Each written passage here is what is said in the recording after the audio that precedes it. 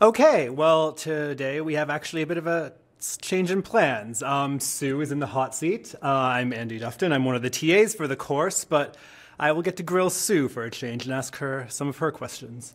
Um, so, start it off, Sue. What's the secret about Petra? Oh, there are many, many secrets about the rose red city, half as old as time. That's the famous poem about Petra, uh, 1836. John William Burgon, the only other thing he, famous thing he did.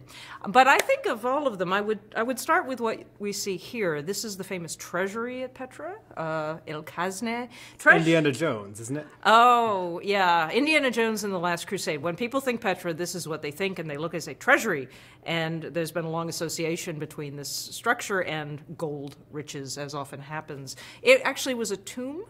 And so that I would say you come through to enter this the site, you see this thing, and the first thing you see you probably don't get properly. And that's that's that's a secret about Petra. The other thing I'd say about Petra is that it is so iconic this moment this view this indiana jones um, everyone in the world has taken who's been to petra takes this shot of this of this of this monument but actually it's just the tip of the iceberg that petra is a very large city and it had a very big hinterland and so it's it's uh, it's something that I think the project we're working on is trying to unsettle a little bit the idea that Petra is just a city. It wasn't. That Petra not you know was really in some ways just this monument. It's not.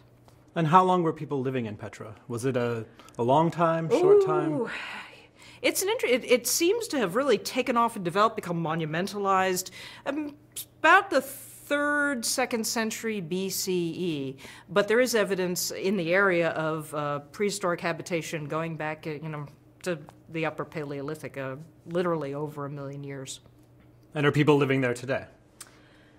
Depends on how you define Petra. Okay. Uh, the local Bedouin tribe, the Badul, used to live actually in the city itself, the ancient city itself. They lived in tombs, they lived in caves. Uh, I've heard some great stories of people visiting, say, 30, 40 years ago, and there'd be like television aerials sticking out of ancient Nabatean tombs. Uh, in the This became less popular with the, the authorities when Petra became more of a tourist site. It was thought not to be uh, you know, great advertisement. Also, it wasn't great for the site itself to have people dwelling in it. So, in a slightly controversial, somewhat controversial move in the 1980s, they actually moved the, the, the Bedouin tribe out of the city and settled them in a local village, which actually is where our team stays, as you well know, As since I well as know, you well yeah. know, in the village of Um Sehun. So, people live near Petra, uh, but not within the site proper any longer. So, Sue, you say that Petra has a, a hinterland. What, Right. what do you mean by that? What I mean is that when we tend to think about major ancient places or sites, we tend to think about just the core. And, you know, but this was, you know, Petra was a functioning city. People had to eat, people needed water, people needed places to, you know, put their camels and their goats and their sheep.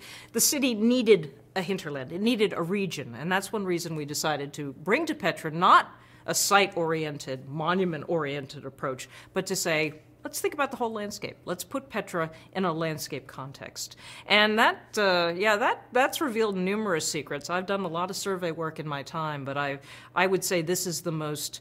Um, modified human landscape I've, I've ever worked in. There is material everywhere, there's signs of human activity everywhere, and a lot of that is owing to the very soft pink sandstone that much of the Petra region is composed of. It's very easy to carve. Um, my co-director uh, says that the Nabateans were born with sort of a chisel in their hand, and they left their mark everywhere. Um, in the hinterland, you say they're, they're farming, but it's a desert, Petra, isn't it? Ah, yeah. it's pretty dry, and uh, we work in the summer as well. It can get uh, pretty damn hot, and it is it is it's very dry. But what's one of the most fascinating things, and I. Let's put this down as a secret as well, is that it's very clear that people in antiquity, and we're still getting the dates squared away, but uh, at some point in the past, people sort of uh, modified this landscape enormously to sort of improve its agricultural qualities.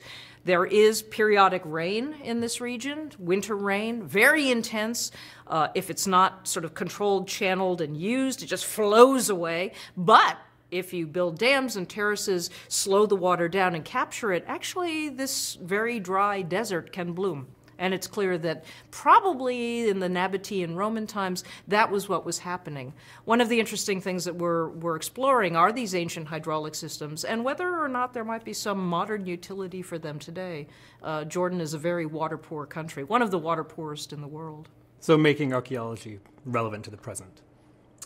It is said that uh, when a bunch of British archaeologists wanted to go to Libya, uh, the former leader Muammar Gaddafi said, "If archaeology is to be done, let it be done for the good of the people today." And he, you know, he said, "Come and tell us how they lived in this area that we now cannot live in."